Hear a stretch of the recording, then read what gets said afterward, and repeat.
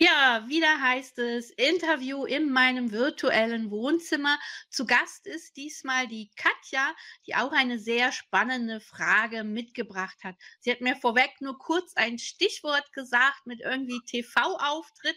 Ich bin jetzt mal gespannt, wie ihre Frage konkret sein wird und was die Karten dazu verraten. Und ja, damit übergebe ich auch schon direkt an die Katja. Was hast du uns denn an Fragen hier mitgebracht? Ja, danke, dass ich heute hier sein darf, liebe Angelina. Ähm, ja, ich habe mich bei einem TV-Sender in Berlin beworben ähm, und würde jetzt natürlich gerne wissen, gibt es einen Vertrag, ja oder nein? Und wenn es einen gibt, wie lukrativ ist der für mich? Was bringt mhm. es noch für mich mit, wenn ich diesen Vertrag bekomme? Ja, oh, das ist auf jeden Fall spannend. Also so vorweg für die, die das jetzt noch lernen wollen mit dem Kartenlegen. Ich mache ja jetzt wieder hier live auf meiner Webseite im Blog ist ja die kleine Neunerlegung, wo ich jetzt stellvertretend für die Katja die Karten ziehe und dann auch gleich deute. Sollte was mit Vertrag drin liegen, dann müsste jetzt zum Beispiel der Ring kommen für Verträge oder etwas schriftlich machen, wie jetzt der Brief oder das Buch. Das wären ja schon mal so konkrete Hinweise, dass da wirklich ein Vertrag zustande kommt kommt. Ansonsten, wenn natürlich sehr viele gute Karten liegen, wäre das auch ein schöner Hinweis, dass das jetzt für die Katja in eine gute Richtung unterwegs ist. Würden wir jetzt Problemkarten sehen? Ja gut, dann muss ich mal schauen, wie ich das formuliere. Ähm, aber wir gucken einfach mal. Vielleicht ist das Schicksal dir ja wohlgesonnen und beschert jetzt lauter schöne Karten. Ja. Okay, ich konzentriere mich mal auf der, also TV-Auftritt ist ja auch mega spannend. Ne? Solche Fragen hat man ja auch nicht so alltäglich gucken wir doch mal, was die Karten zum TV-Auftritt sagen. Hm, und die. Ah, da sehe ich schon den Ring. ah, hier immer dieser Pfeil. So, weg, schnell. so, ja, dann fange ich doch direkt mal an zu deuten. Ja, jetzt ist mein Auge natürlich schon direkt auf den Ring rübergesprungen. Das ist eigentlich erst die Ergebniskarte, also die Schlusskarte. Aber ähm, wie ich es ja vorweg schon gesagt habe, taucht der auf, dann sollte das definitiv schon auch das Zeichen sein, dass du da einen Vertrag, also mindestens angeboten bekommst, wenn nicht eben auch unterschreibst. In Bezug auf Unterschreiben muss ich mal gucken, was da jetzt so dran liegt. Und man sieht jetzt eben, jetzt, ich gucke jetzt gerade mal nicht mehr so in die Kamera, sondern mehr auf die Karten. Ähm, ja gut, Mäuse sind dabei, dann ist die Schlange dabei, die Wolken dabei. Das sind schon drei eher, naja, ich sag mal, unschöne Karten. Aber du hast natürlich auch den Reiter in der Mitte. Das ist ja auch nicht so vernachlässigen. Der Reiter sagt ja, da ist eine Chance, da ist ein Angebot. Ne? Hier kannst du jetzt aufsatteln, fest im Sattel sitzen, die Zügel in die Hand nehmen und in die Richtungen ähm, unterwegs sein, die du möchtest. Weil beim Reiter geht es immer darum, dass man selber bestimmt, wo man jetzt hinreiten möchte. Und dass man dann eben die Chancen, die Angebote ja nutzt, die man dadurch entdeckt, dass man halt aktiv wird. Also die Karten zeigen auf jeden Fall schon mal an, dass du da zu dieser Bewerbung hinfahren solltest, diese Chance also erstmal ergreifen und eben gucken, wie das Ganze dann so ist. Dann hast du natürlich jetzt im Schlepptau einerseits die Mäuse, aber andererseits auch den Bär. Die Mäuse sind vielleicht deine Zweifel noch ähm, im Punkt, naja, ob das jetzt alles so lukrativ für dich dann ist. So gesehen ist es ganz gut, dass die jetzt links liegen, weil links ist ja immer, was wir im Gepäck haben und jetzt nicht der Zukunftstrend. Also auf der rechten Seite wäre es jetzt ungünstiger. Dann hätte ich nämlich gesagt, der Vertrag kommt nicht zustande oder du bist sehr unzufrieden damit. Aber auf der linken Seite sind es vielleicht jetzt einfach nur von der Ausgangslage her die ein oder anderen Zweifel, die vielleicht noch sind, ob sich im Endeffekt für dich lohnen wird. Ähm, der Bär sagt ja, da ist großes Potenzial, also was, was Großes, was Starkes. Du kannst dich damit sozusagen spezialisieren oder als Autor, äh, nee, nicht als Autorin, als, ähm, ach, was wollte ich jetzt sagen, als Expertin, so, als ja. Autorität, so jetzt habe ich das Wort, als Autorität wahrgenommen zu werden. Ne, dass man wirklich sieht, ah, da ist eine Expertin, die da jetzt diesen Fernsehauftritt hat ähm, und dann ihr, ihr Wissen da wahrscheinlich weitergibt. Und ähm, von den Gedanken und den Gefühlen her sieht man die Lilie. Das heißt, du denkst schon, dass das Geben und Nehmen im Gleichgewicht ist oder dass das für dich was Zufriedenstellendes ist. Also von daher überwiegt jetzt mit Bär und Lilie eher das Positive, weil nur die Mäuse jetzt negativ wären, aber Bär und Lilie an sich gut. Das wäre jetzt die linke Seite. Mhm. Die Gegenwart da sehen wir das Schiff, das wäre die Reisekarte. Das heißt, eigentlich steht deine Reise schon unmittelbar bevor, dass du zu diesem Sender nach Berlin fährst. Ähm, ich weiß, du wohnst bei mir gerade, also gar nicht so weit weg, ich glaube fast um die Ecke, so 20 Kilometer oder so entfernt. Ähm, von daher weiß ich, Berlin ist schon ein Stück weg. Also ja, Reise passt. Und ähm, ja, da würde ich definitiv sagen, die Reise würde ich auch machen, weil du hast den Reiter nach wie vor in der Mitte. Das Schiff sagt ja, hey, da, da kann man ruhig mal die Reise unternehmen. Die Hand jetzt als Ratschlag, ähm, ja, da geht es dann wirklich darum, man kann mit der Hand ja etwas anpacken oder etwas loslassen. Vorweg sollte man immer seine Erfahrungswerte nochmal so, so diesen Check-up in sich machen. Ne? Was, was sagt mir meine Erfahrung? Was sagt mir vielleicht auch das Bauchgefühl? Und dann so eine Art Bilanz ziehen. Deswegen sieht man so auch das kleine Auge noch mit auf der Karte. Jetzt gut, hier in der Verkleinerung vielleicht nicht so, aber wer mhm. die Originalkarten hat, weiß, dass da auch ein Auge drauf ist. Ähm, da steht einfach dafür, mal so diese Bilanz zu ziehen. Ne? Vielleicht auch dann zu gucken, wenn du dann da bist vor Ort, wie gefällt es dir? Wie sind die Leute? Was sagt dir eben so dein, dein Gefühl ne? oder dein Erfahrungswert im Punkto mit, mit, mit dem ganzen Ablauf da? Ne? Passt das für dich oder passt es nicht? Mhm. Mit der Schlange ist es natürlich so, die Schlange ist so das Handlungspotenzial, was du machst. Das heißt, hm, naja, im Grunde genommen würdest du schon so ein bisschen herumeiern oder dich vielleicht zieren oder eben sagen so, hm, naja, vielleicht so sofort unterschreiben, vielleicht Vielleicht darfst du es dir erlauben, ein paar Bedingungen zu stellen oder vielleicht bei etwas Kleingedruckten im Vertrag dein Veto einzulegen und zu sagen, okay, wenn wir die Passage da vielleicht rausnehmen oder uns da irgendwie einigen könnten auf einen Kompromiss, dann unterschreibe ich weil die Schlange ist schon so ein bisschen mit, mit Vorsicht. Ne? Also natürlich könnte es jetzt auch bedeuten, dass äh, du sehr motiviert bist, weil im Positiven heißt die Schlange ja, äh, man ist motiviert, man will da was transformieren in die Heilung, sozusagen die alte Haut abstreifen und dann eben wirklich in diese Transformation kommen aber weil jetzt auch die Wolken da und die Mäuse und die Hand, also so im Gesamtkonstrukt, sage ich mal, ich gehe schon davon aus, dass du am Ende den Vertrag unterschreibst, weil es ist die Schlusskarte. Von daher ist dieser Vertrag am Ende definitiv, denke ich mal, da. Aber du bist vielleicht nicht so ganz happy damit, sagen wir es mal so, weil die Schlange hat schon so einen kleinen Beigeschmack. Und die Wolken, das zeigt ja auch schon an, dass was von außen kommt.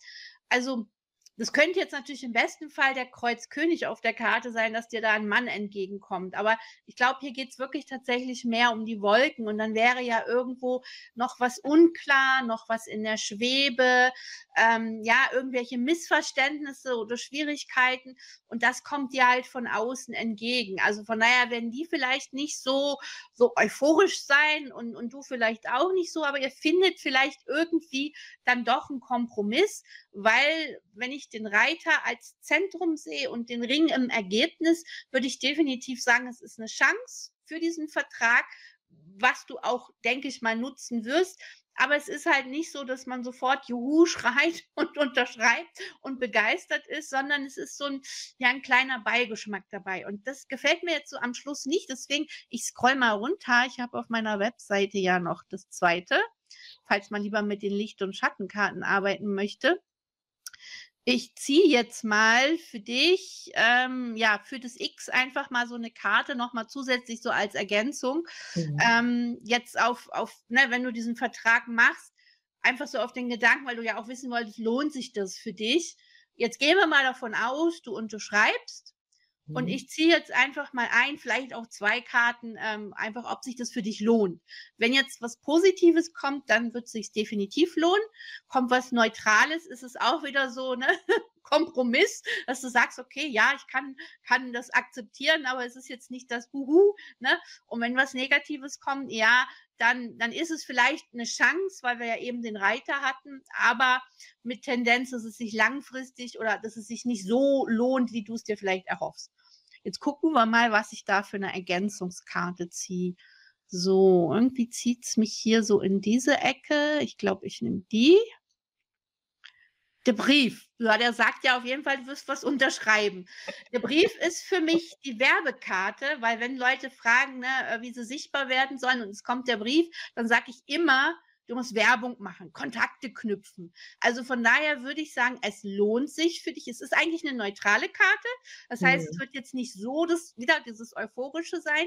Aber der Brief ist für mich durch die Werbekarte ähm, so ein Hinweis, das ist für dich die Chance, bekannter zu werden, also Werbung zu machen, dass du eben wirklich sagst, okay, der Fernsehauftritt an sich ist jetzt vielleicht nicht so das Mega-Ergebnis, aber dass ich dadurch im Nachgang weil man dich als Person kennenlernt, dass man dann vielleicht eben guckt, was hat die Katja für Kontaktdaten, wie kann ich die finden? Na, du wirst ja sicherlich im Internet, denke ich mal, das werden wir unter dem Video dann auch noch verlinken, ähm, ja, Kontaktmöglichkeiten haben mit Webseite, vielleicht hast du Facebook-Profil, gehe ich jetzt mal von aus, ne, oder noch irgendwelche anderen, die darfst du, wenn du möchtest, gerne gleich noch nennen, dann hast du auch hier den Werbeeffekt. Und ich denke, dafür lohnt sich dieser TV-Auftritt, dass du da praktisch die Chance hast, Kontakte zu knüpfen, werbungstechnisch unterwegs zu sein. Aber ansonsten ist es jetzt nicht so dieses, ähm, ja, was man vielleicht natürlich im Kopf für Wünsche und Erwartungen hat. Ne? So, wenn man, also bei TV-Auftritt, da denkt man ja so, wow, da zündet jetzt vielleicht die Rakete oder so. Vielleicht braucht es einfach ein paar Auftritte mehr. Also, dass das dann eben so eine gewisse Regelmäßigkeit ist. Ähm, da könnte ich ja vielleicht auch einfach noch mal eine Ergänzungskarte ziehen auf den Gedanken, wenn du das jetzt regelmäßig machst, dich sozusagen dazu verpflichtest, zieht es mich jetzt so in diese Ecke hier unten. Hätten wir die Sense. Okay, die Sense steht einerseits für Ernte, aber andererseits auch wieder, da ist sowas, was so ein bisschen beschnitten wird. ist also mhm. auch, also du hast tatsächlich immer so Karten, wo ich jetzt so sagen würde, es ist nicht so der ganz große Jackpot, aber es ist jetzt auch nicht negativ, sondern irgendwo mhm. so dazwischen. Ne? Also vielleicht kannst du dich ja mit dem Gedanken anfreunden, dass es so ein, so ein, ja, ein Kompromiss ist, wo du sagst, okay, ein bisschen wird sich lohnen, weil sonst wäre ja die Ernte nicht und die Werbung zwecks Sichtbarkeit nicht. Aber es ist jetzt nicht so dieses, dieses ganz Große, was man vielleicht eben erhofft hat, dass das jetzt so mega der Durchbruch ist ne? und, und das Geschäft dann ne, auf einmal fluppt, ne? wo man sagt, so, das, das war jetzt so der Knaller, dass ich da in der Sendung war. Ne? Vielleicht machen die das ja auch regelmäßig, dass du da jetzt vielleicht gerade nochmal was zu erzählen erzählen magst, gib doch einfach mal Feedback auf meine Legung und was ich da so zusammengedeutet habe. Ja, also ich fand es ganz erstaunlich. Ja, natürlich. Also ich bin eingeladen worden jetzt erstmal für äh, drei Tage live. Mhm. Und äh, wenn das gut geht, kriege ich einen Vertrag. Und wenn nicht, kriege ich keinen Vertrag. Und ich müsste dann aber auch immer regelmäßig nach Berlin. Mhm. Ja, und ich bin jetzt äh, insgesamt vier Tage da. Ich werde gebrieft und danach geht es ins Live. Und ja, natürlich kennt dich erstmal keiner. Und ich mhm. habe auch Sendezeiten, die dann erstmal in den Morgenstunden sind. Mhm. Ja, und das ist natürlich vielleicht auch so die Hürde, dass da morgens nicht so viele Leute gucken. Mhm. Ja, oder nicht die richtigen vielleicht. Mhm. Und wenn man aber öfter eingeladen wird, weil da geht es auch um die Themen Drachen, ja, mhm.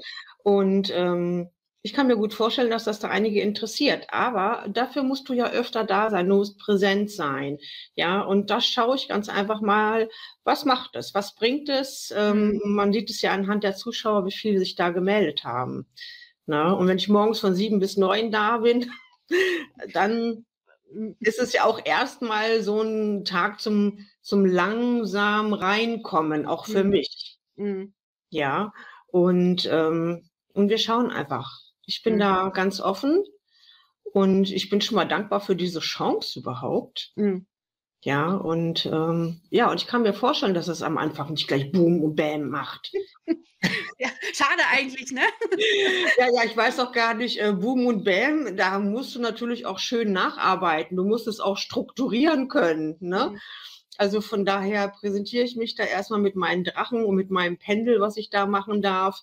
Mhm. Ähm, ja, wir darf schauen. Man, darf man fragen, ich mache jetzt einfach mal stellvertretend, vielleicht interessiert es ja den einen oder anderen, äh, was machst du da genau mit den Drachen? Also ne, Fernsehauftritt und mit Drachen hört sich ja schon spannend an, ne?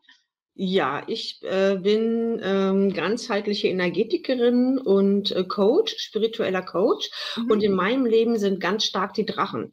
Es mhm. gibt ja, ich arbeite auch mit Engeln und Einhörnern, aber die Drachen haben einfach was ganz anderes, viel kraftvoller, mhm. also ähm, ganz massiv sind die bei mir und ich kann so viel mit den Menschen ähm, so tolle Sachen äh, erarbeiten. Mhm. Und das wird mit meinem Hauptteil äh, sein, wenn ich äh, für die Menschen Drachenkarten ziehen darf oder auch mhm. mit meinem Pendel ähm, die Chakren reinigen darf. Mhm. Okay. Das wird oder auch mal eine Frage ähm, aus dem Bewusstseinsfeld beantwortet, wenn jemand noch mal eine Frage hat über Ja oder Nein. Mhm. Ja, ne? also da, das wird so mein, mein Tun sein. Und da freue ich mich so sehr drauf. Ja, also das glaube ich. Also wie gesagt, bei TV-Auftritt, da wäre ich ja, ach, naja, für mich wäre das nichts. Ich wäre viel zu nervös bei sowas. Hm. Ne, ich bin immer froh, wenn ich hinterher noch Videos gegebenenfalls beschneiden kann, falls da irgendwelche Pannen passieren. Ähm, ja, es klingt auf jeden Fall spannend. Magst du denn, also ich werde unter dem Video in die Beschreibung natürlich die Kontaktdaten zu dir äh, verlinken. Ne? Also magst du da Webseite, Facebook-Profil und so. Magst du das denn, dass die Leute dann auch Kontakt mit dir aufnehmen oder sagst du, äh, nee, mir reicht das, was weiß ich, nur Facebook oder nur keine Ahnung was? Oder möchtest du schon, ne, dass du von vielen Seiten sozusagen auch gefunden wirst? Ja, also sehr gerne. Ich habe da kein Problem mit. Ich bin transparent. Ne? Meine Website ist www.whisperingofsoul.de. Mhm. Ähm, bei Facebook äh, bin ich Katja Böder oder ja, das reicht erstmal, da findet man mich. Und ähm, Insta bin ich Heilerin Katja Böder. Mhm. Ja, also ja, wir, packen, wir packen die Links sowieso. Genau, das sind alles ganz einfach mit meinem Namen verknüpft, außer die mhm. Website eben auch. Mhm. Und ja, da freue ich mich, wenn sich da jemand drauf meldet. Genau, weil kann ja sein, dass sich jetzt auch jemand beim Zuschauen nicht nur jetzt hier für die Lenormand-Karten interessiert, sondern genau. vielleicht auch sagt, hey, Drachen klingt ja irgendwie cool, da mhm. muss ich doch mal Kontakt aufnehmen. Ja, weil ja, ganz vielen Menschen ihren persönlichen Drachen an die Seite und auch den Business-Drachen. Mhm. Und das macht natürlich Spaß mit den Menschen, die sich da so öffnen, einen Business-Drachen an die Seite zu stellen. Das mhm. ist wow. Mhm. Klingt auf jeden Fall spannend. Mhm. Ja, dann danke ich dir für die ja mal, mal außergewöhnliche Frage. Ne? Also so eine Frage hatte ich tatsächlich noch nicht. Und ähm, ich drücke dir die Daumen bezüglich Vertrag. Also ich würde definitiv sagen, ja, da wird ein Vertrag kommen. Du bist vielleicht, wie gesagt, nicht so 100% zufrieden oder es braucht diese Anlaufphase, wie mhm. du es ja auch gesagt hast. Aber ich denke, wenn da eine gewisse Regelmäßigkeit ist, dann wirst du da auch die Ernte haben. Also die, die Werbekarte hier jetzt so als Zusatz deutet ja darauf hin, dass es gut für deine Sichtbarkeit ist. Also von daher drücke ich dir mal die Daumen. Und ich danke dir von ganzem Herzen für die Legung. Ja, gerne wird wahrscheinlich irgendwann im November jetzt 2022 erscheinen. Ne? Wir nehmen das Video jetzt im Oktober auf. Ich brauche immer so ein bisschen Vorlauf für meine Planung. Aber im November, ne, also du als Zuschauer siehst es jetzt wahrscheinlich irgendwann im November oder später, wenn du es im Nachgang eben durch die Suchmaschine irgendwie gefunden hast. Ja, ich hoffe, dir hat das auch ähm, gefallen. Also nicht nur Katja jetzt für ihre Deutung, sondern auch dir als Zuschauer, Zuschauerin, wie man eben an so eine Deutung rangehen kann, welche Karten da eben auch Antwort geben oder so wie jetzt, wenn am Schluss noch ein Fragezeichen ist oder du sagst, äh, dieser Kompromiss, ich weiß nicht, da möchte ich gerne noch eine Zusatzkarte, dann ne, auf meiner Webseite einfach weiter runter scrollen, da ist das zweite Orakel und dann einfach da nutzen ein paar Positionen noch so für Ergänzungen. Und wenn du es bei dir am Tisch machst, dann einfach entweder ein zweites Kartendeck nehmen oder das mhm. gleiche Kartendeck und da auch Ergänzungskarten ziehen, um einfach mehr Klarheit reinzubringen, was denn da nun los ist, wenn du es noch nicht gleich mit den neuen Karten erkennen kannst.